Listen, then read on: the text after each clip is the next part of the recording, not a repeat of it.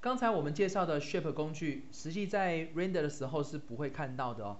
那问题是我们既然看不到，我们干嘛使用这个工具呢？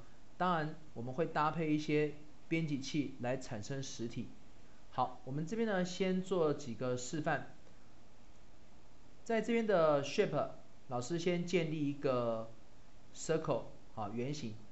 我在中间这个地方呢，画一个圆形。好，现在 Render 当然是不会出现哈。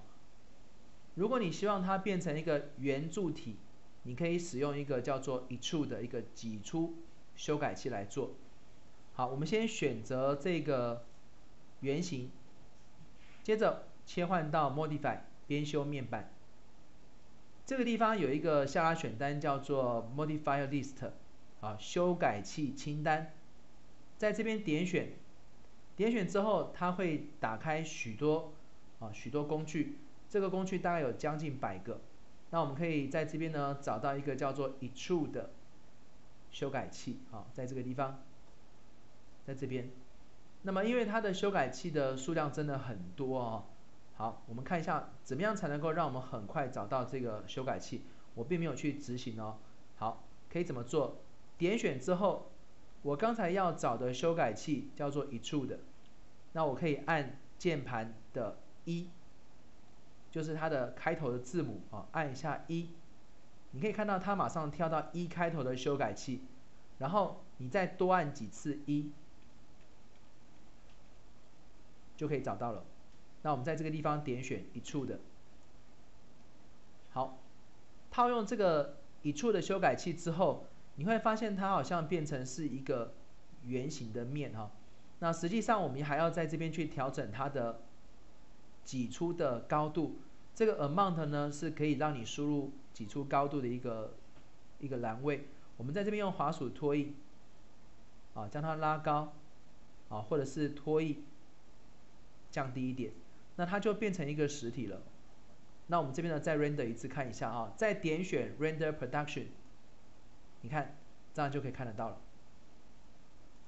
那实际上呢，你挤出来的形形状呢，是看你原本的物件。好，那我们再试试看哦。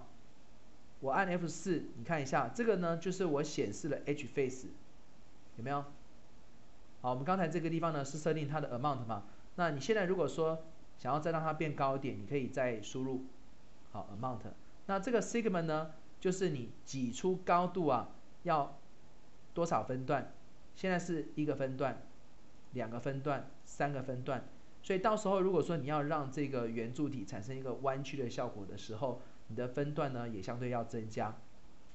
好，我们再看其他的，呃，我再回到一样是 shape 啊，刚才我们建立的是 circle，那现在我建立 donut 甜甜圈。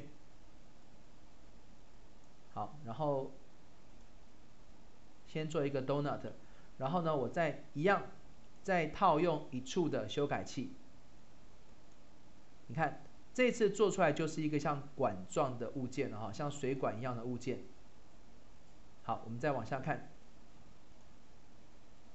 这次呢，我用 star 星形，用滑鼠拖曳建立一个星形啊，但是我的星芒呢，我只要五个边就好了。那我可以在这边呢再调整一下。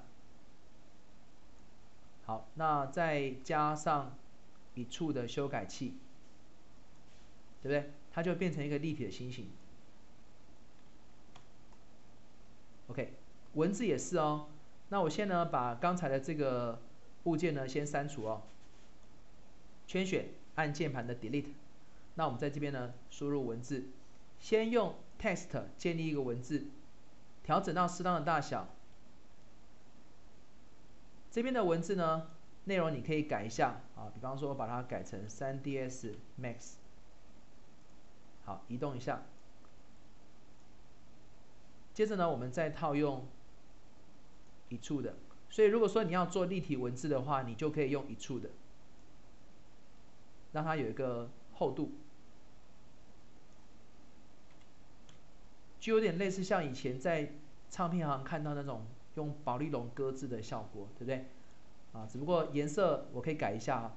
宝丽龙的话，大概都是白色的嘛，所以我可以在这个地方点选啊，这个地方是让你设定 name and color，设定物件的名称以及颜色的。我暂时把它设定成白色。不过实际上你如果要设定物件的颜色的话，正确的做法应该是使用材质编辑器来修改。好，那因为我们稍后才会讲到材质编辑器，因此我们这边呢先改变物件的颜色就好。在这边呢，老师要说明一个观念哦，其实你建立的物件。跟你在哪一个视图上建立是有关的哦。好，我们这边呢按 Alt 加 W 这个指令呢，这个快速键我们前面讲过，相当于我在这边点选 Maximize Viewport Toggle，可以将视图呢还原成四个视图，或者是将视图最大化。好，我先把这个文字先删除哦。看一下，我们现在如果一样是选择文字工具，我把它放大一点，让各位看清楚一些啊。五十好了。如果我是在 Perspective 透视图上建立的话，我们之前有讲过，其实这个是什么？这个是网格啊，Grid 是网格，这代表什么？这代表我们的地面的高度。其实你可以把它隐藏起来的啊。如果说你要隐藏这个高度的话呢，你可以按啊，你可以在来，我们在这个地方先选这个视图，然后按 G 就可以把它隐藏起来。好，再按一次就显示出来。其他视图也是一样，例如我这边切换到 Front 前视图，按下键盘的 G 就把网格隐藏起来。好，再按一下 G 又显示出来。好，那如果说我们现在建立文字哦，我是在透视图上建立的话，我们在这边点一下，你会发现怎么样呢？它是平躺在我们的地面上的。你可以从上视图看到，它是平躺在地面上的，对不对？好，OK，我再把字放大一点好了，五十。好，可以看出来吧？好了，但是如果说我这个物件我是在前视图建立的话，会怎么样呢？来，我先把把它位置稍稍微移动一下哈。我不在这边建立了，现在我建立一样的文字，我在前视图建立，我在前视图这个地方点一下，点一下之后，你有没有注意到这个文字是怎么样？它是立起来的，啊，从这个透视图上可以看得出来，它是立起来的，对不对？浮在空中，而且是立起来的。当然，浮在空中的位置呢，是因为我们在前视图点选的时候呢，它的放的位置。你如果希望把它放在地面上的话，你还是可以在这边呢去调整它的高度。好，OK，那我们再把它移到后面一点。所以前视图所建立的，或者是从侧视图所建立的话，它是立立起来的哦。你们可以看一下，老师这边呢现在在切换到 Left 左视图哦。我现在在左视图一样建立一个 3ds Max 这样的文字，我在这个地方点一下，你看。它也是立起来的，然后刚好是在我们的 left left 视图的投射平面上，了解吗？好，我们旋转一下看一下。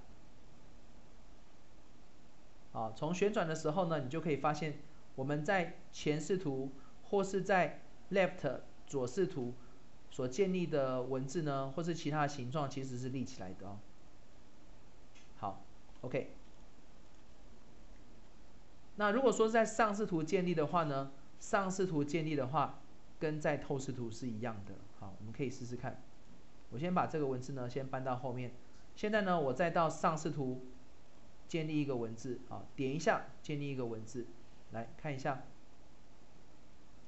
它是不是在地面上，对不对？好，所以呢，我们在这边如果一样要要让它做成立体文字的话，我们还是加上。一处的修改器啊，我们在这边选择一处的挤出，或是称为挤压。你看，字是平躺在地上的哈。那我们这边呢，从前视图建立的这个文字呢，也加上一处的好了。你看，它就是立起来的，了解吗？好，所以如果说你要让物件看起来有立体感的话，其中一个方式呢，就是为它加上一处的。挤出或是称为挤压修改器，好，但是还有其他的，我们稍后再讲解。好，稍后请各位同学先练习到这个地方。